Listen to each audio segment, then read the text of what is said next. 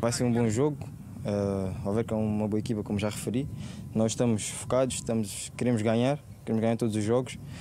O Missa deu-nos o plano de jogo, vamos mostrar o que somos e, e, estamos focados. O jovem Leão, de 18 anos, explicou a importância do apoio dos adeptos leoninos naquele que vai ser um jogo muito complicado. É bom ver os nossos amigos, a nossa família, os adeptos a apoiar-nos. Também é, é uma coisa que nós gostamos de fazer, jogar a bola. E, mas é sempre bom, sim.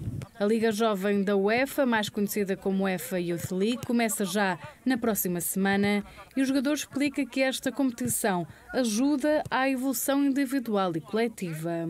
É mais, é mais um campeonato, mais uma liga. Uh, vai nos dar mais experiência, mais jogos, mais saber uh, outros, outros ambientes. E é, vamos, vamos continuar a evoluir, evoluir e, e é isso. O Sporting recebeu recentemente o prémio entregue pela Associação Europeia de Clubes, graças a um modelo centrado no jogador. O médio reconhece que esta distinção reflete a qualidade do trabalho que se faz diariamente na academia. Nós sabemos que o valor do Sporting e é um, é um prémio que também é merecido. Nós trabalhamos todos os dias para isto e só temos que agradecer e continuar a mostrar responsabilidade.